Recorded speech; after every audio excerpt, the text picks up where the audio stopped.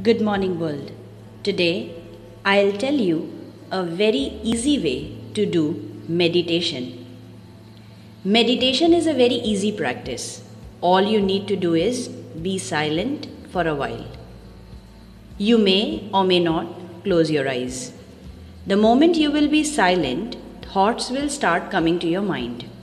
Let them come. Become the observer. Focus on your breathing and you will find that your thoughts, like clouds, are drifting away. Now tell your mind, here and now, pay attention. Become aware of your being. Be aware that you are more than your mortal body. You are consciousness breathing in human body.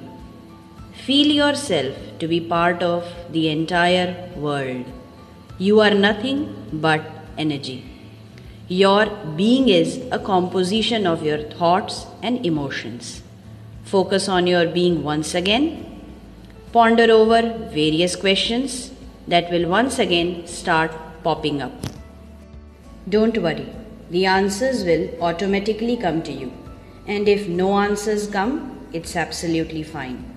Focus again on your breathing, and once you will develop the habit of being in the now, your life will be easier and without stress.